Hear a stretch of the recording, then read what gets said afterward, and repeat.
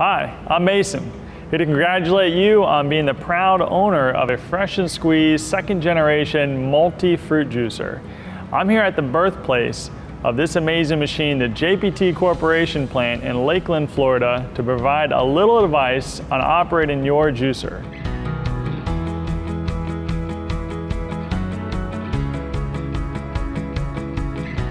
First, review your operator's manual and using it as a guide, make sure all components are in place and secured. The Fresh and Squeeze second generation multi-fruit juicer is designed to provide years of dependable service. It uses a unique, patented design to extract maximum juice from the fruit with the least amount of peel oil. The machine is capable of juicing all types of citrus, including oranges, lemons, limes, grapefruit, and tangerines. No melons, however. Before plugging in the juicer, do the following. One, locate the juicer on a level surface to prevent fruit feeding problems. Two, lock both front casters by pushing down with your foot. To unlock, push again with your foot. Three, open the front door latch on the right side to check that the waste container is in place. Put a trash bag over the container for easier peel disposal. Four, check the juicing components by sliding the reservoir out to remove from the brackets. Twist and pull the juice nozzle off. Remove the splash shield by lifting up off the brackets, then tilt the top outward as it is removed.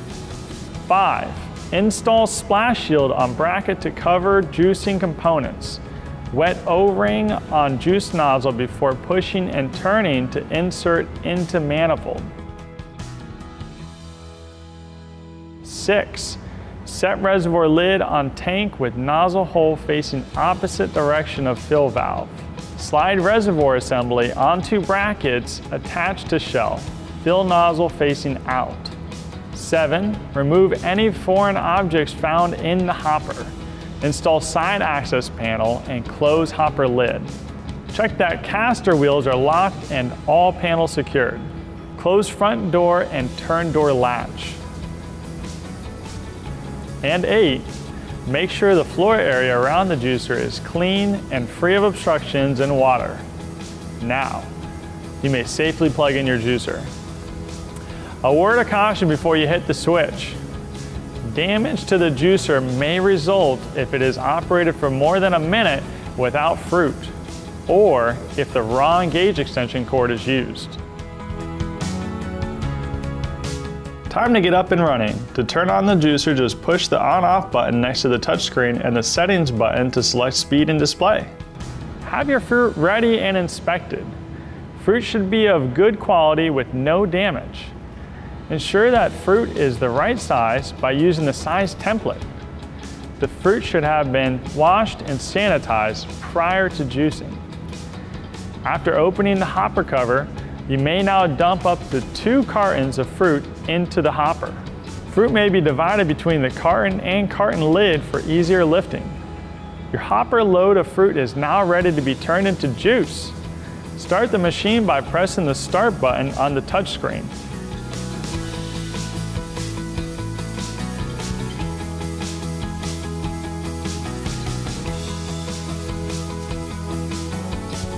When the hopper is empty, the juicer may be turned off with a tap of the touchscreen button.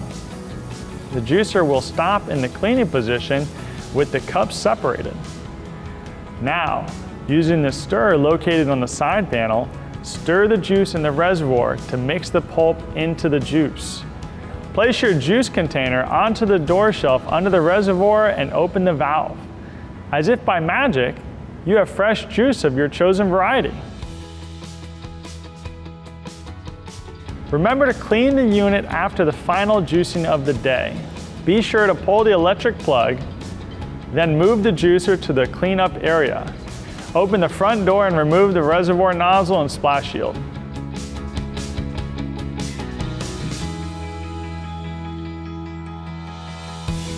Brush all loose peels into the waste container, then empty the container. Start the cleaning process by using a soft towel or sponge to wipe the windows.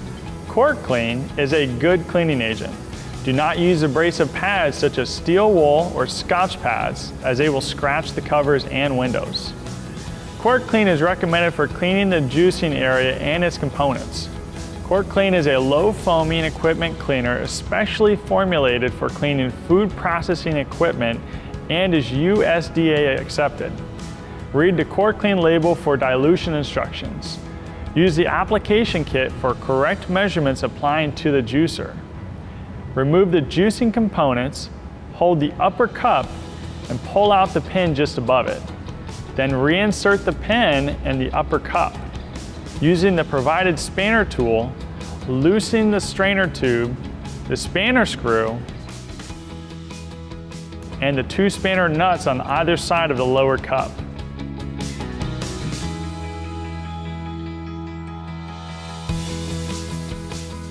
Then remove the lower cup.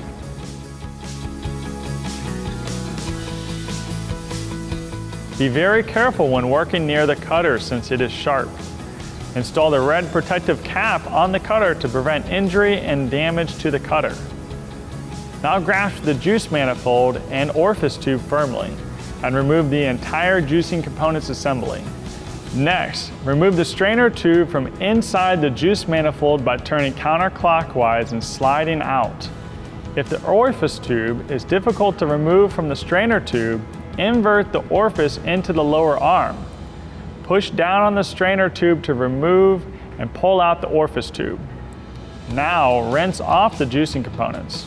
Use the pointed end of the rod to clean between the cup fingers and the upper cup cutter.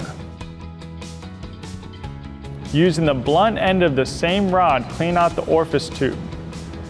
Scrub the juicing components using a brush, towel, or sponge and not an abrasive pad. Clean the strainer tube with a hard spray from a hose. Move the orifice tube back and forth in the strainer tube and brush with round brush for better results. Soak the strainer tube overnight in cork clean for best results. After soaking thoroughly, rinse the strainer tube before using. Make sure that all strainer tube holes are clean. All stainless steel components can be soaked overnight. Do not soak the cups for extended periods of time. All components should be rinsed after soaking. If possible, hose down the juicing area and cover. If the location prohibits, wash down the exposed juicing area and windows with a sponge or spray applicator. Spray cleaning solution on the doors, panels, and hopper. Allow to stand for 10 minutes before lightly rinsing thoroughly with water.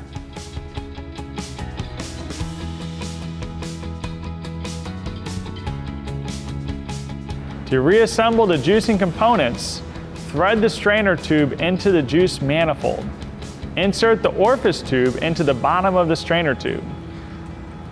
Mount the juice manifold assembly onto the locating pins with the orifice tube notch, engaging the lower drive.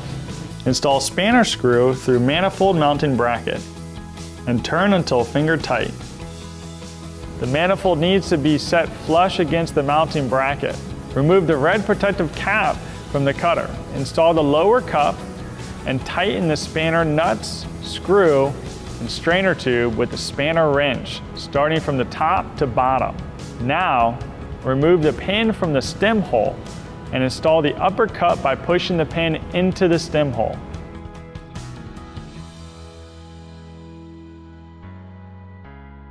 Install the splash shield then wet the O-ring on the juice nozzle and insert through the splash shield onto the manifold. Then turn the nozzle until the outlet is pointed down.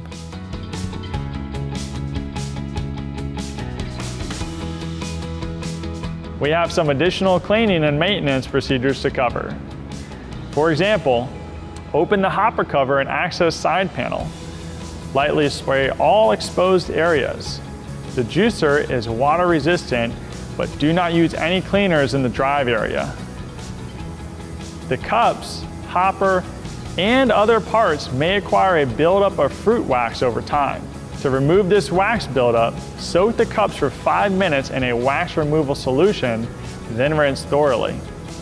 Wipe the hopper and other parts with a cloth sprayed with the wax removal solution to remove wax buildup, then rinse thoroughly. Do not lubricate any bearing, rod end, or shaft. Follow preventative maintenance service as recommended in your manual. After every juice run, check the cutter and knives for sharpness. If dull, sharpen or replace. Please refer to your manual for specific instructions on sharpening the cutter. If damaged or rolled over, replace the cutter. To remove the cutter, disassemble the juicing components. Here's that red cap again.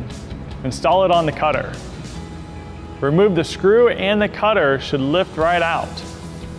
If it's stuck, lightly tap the cutter from inside the juice manifold with bottom of cleaning brush. To install the cutter, align the arrow on the cutter with the arrow on the manifold.